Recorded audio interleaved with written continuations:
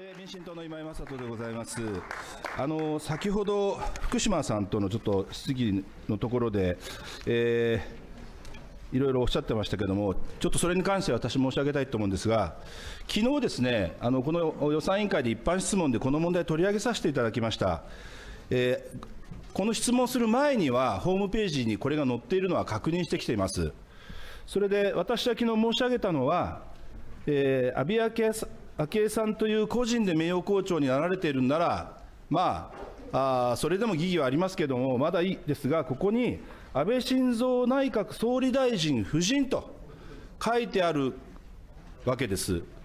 この役職、まあ、ある意味、その肩書きにななわけですね。で、これが載っているということは、これは内閣総理大臣の夫人ですから、あのご夫婦ですから、その一緒にやっぱりやってるように見られるので、いろんなこういうものがいろんなところで使われますから、こういうのはまずいんじゃないですかという話をあのしたんですね。でそしたら、戻ってみたら、ホームページ見たら、削除されていまして、あ早いなと。お思いましたけども、また隠蔽するのかと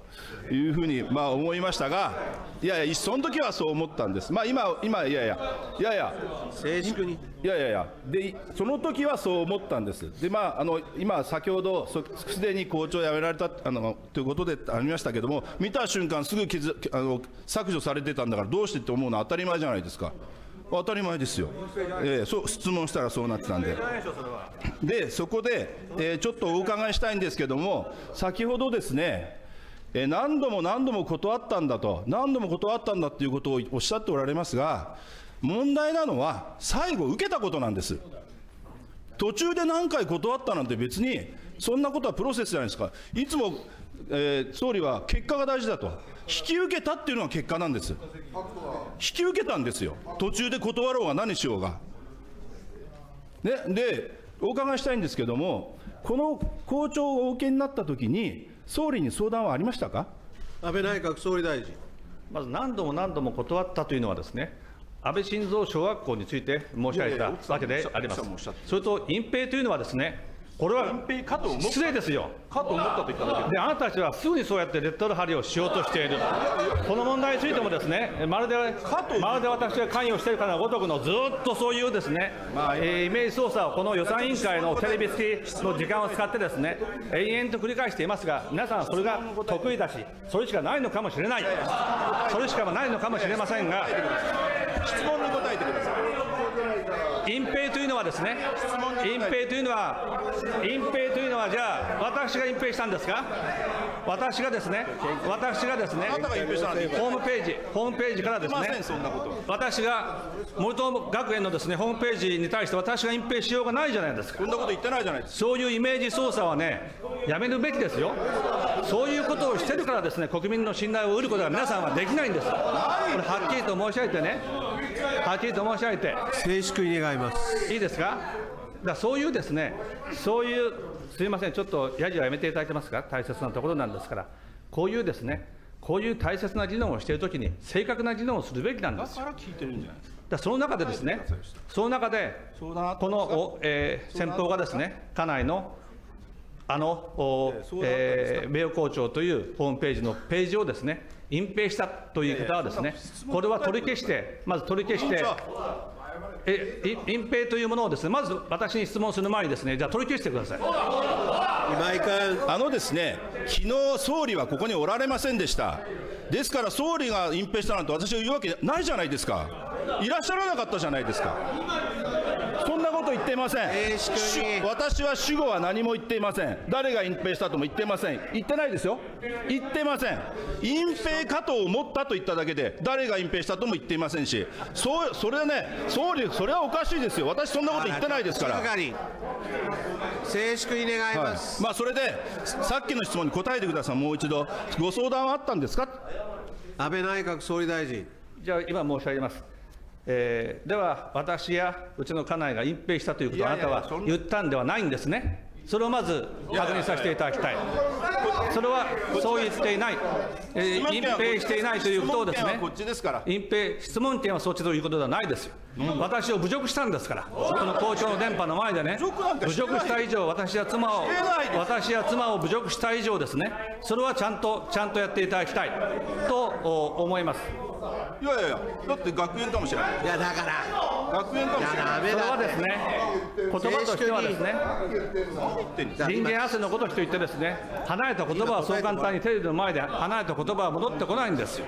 ですからそういうイメージ操作は現に慎むべきなんですよ。ですからそういう隠蔽というですね。隠蔽という隠蔽というのはどういうことかといえばですね。隠蔽というのはどういうことかといえばまさにこの出来事があなかったかのように隠そうとしているということでありますでまあそのことをですねそのことをはっきりと理事の皆さんにも申し上げておきたいと私は思いますよ。都合が悪い都合が悪いことをですね私が答弁し始めると児童の皆さん出るんですかまずそのことについてはですねそのことについては反省していただきたいと、えーこのように思います。その上においてですねその上においてですね名誉校長については先ほど申し上げましたように。敬意を申し上げましたよね。敬意をもう辻元さんいい加減にしてください。もうやじで。静粛に。総理質問にと答弁してください。委員長ちょっとやじがうるさくてですね、答弁静粛に願います。先ほどから何回も申し上げておりますが議事の進行にですね大変支障があります。不規則発言はやめてください。総理もあ答弁よろしくお願いします。はい、そこでですね、そう先ほど申し上げましたように、この名誉校長の件については、いわば講演会に行ったときにですね、えそこで、えー講演会の際にですね、理事長に対して、えーお断りをさせていただいたところですね、まあ、その後その後講演をし、えーまあ、そこでですね、そこで、えーぜひ名誉校長を引き受けいただきたいと話し、どうですかと言って、え聴取、えーふえー府県の方々もらえたんですが、まあ、そこでですね、そこで、えーではよろしくお願いします。と、こう頼まれたわけであります。で、妻の記憶ではそこでも明確に、えー答えずに、まあ、笑っていたということでございますが、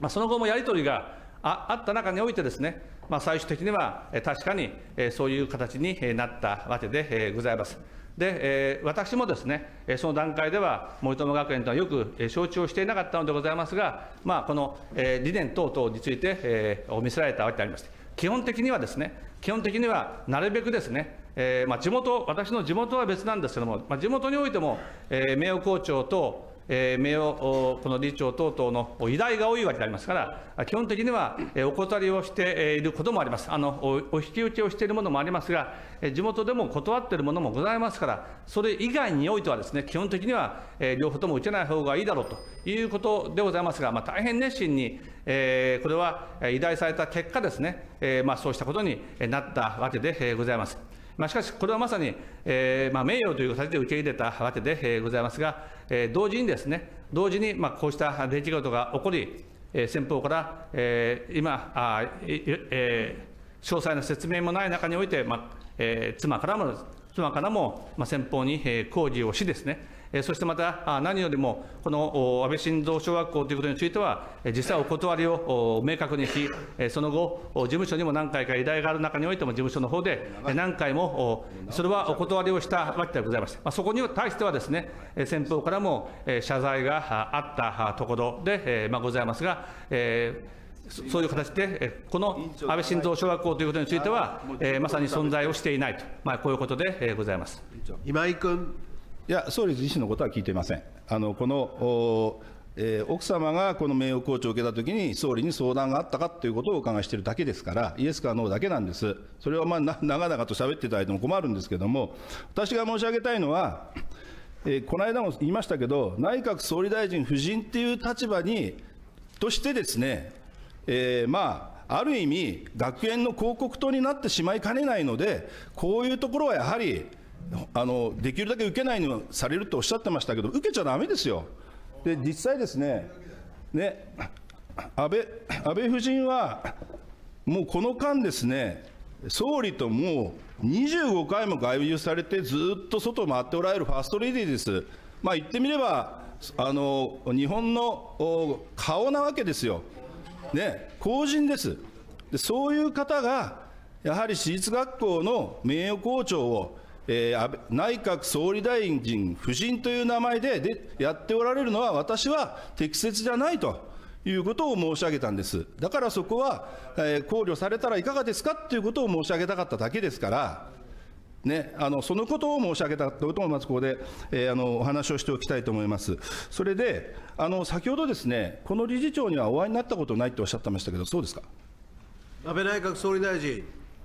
えーまあこの方とはですね、えーまあ、政治家でございますから、いまあ、いろんなあ会があございます。えーそうした会でお目にかかったかもしれませんが、例えば1対1、えーというような形でですね、えーお目にかかったという記憶はあない。ないえいや、先ほどもそう申し上げておりますよ。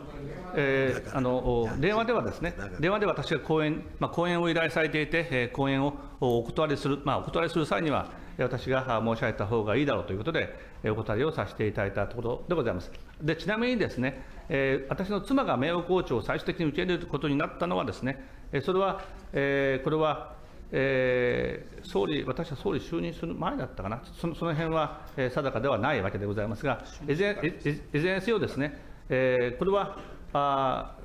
総理大臣夫人という肩書きをつけられるかということについてはですね、えーそれは我々も、おえー必ずしも想定をしていなかったあところで、えーまあ、ございますが、まあ、先方の言い方もそうではなかったものでありますからね、えーということで、えーまあ、ございます。今井君。それではあのこのここの学園がやっておられる塚本学園っていうあのあのご婦人が行かれたあの幼稚園ですね、塚本幼稚園、こちらもお邪魔したことはないですか？安倍内閣総理大臣。あの塚本幼稚園にもですね、えー私はお邪魔したことはないないですか？わけであの、えー要請があったんですが、えーまあえーたまたまさまざ、まなあ、えー用事でですね、私はお邪魔をしていないと、このように思います。今井君。だとすると、この理事長は大変問題児ですね。あのこの方ですね、山口県の防府市の市長さんと雑誌の対談をしておられまして、えーこうおっしゃってます。安倍総理には当園に足を運んでいただいたこともあり、本当に応援させていただいてますと、こうやってあのおっしゃってるんです。でこの方、嘘ついてらっしゃるってことですよね。そういうことですね。安倍内閣総理大臣。まあ、あまり、まあ、その人が嘘ついているかどうかということは申し上げたくないんですが、あの私にはですね、えーそのお再々ですね、そういう要請があったものでありますから、おあの何回かおおことおあのお断りする結果になったということはですね、えー記憶に残ってえーおりますから、えー訪問をしていないと、このように思います。今井君。えー明確にあの言ったことはないということをおっしゃってますから、ということであれば、この方が勘違いしているか、なんか嘘をついているかということでありますので、まあ、そういう方が理事長をやっておられたところの名誉校長をやっておられたということも大変問題であるということをまあ申し上げたいと思います。これは失礼ですよ。かと思ったと言っただけで、あなたたちはすぐにそうやってレッドル張りをしようとしている。この問題についてもですね、まるで、まるで私が関与しているかのごとくのずっとそういうですね、まあえーイメージ操作をこの予算委員会のテレビ付きの時間を使ってですね、延々と繰り返していますが、皆さんそれが得意だし、それしかないのかもしれない。それしかないのかもしれませんが、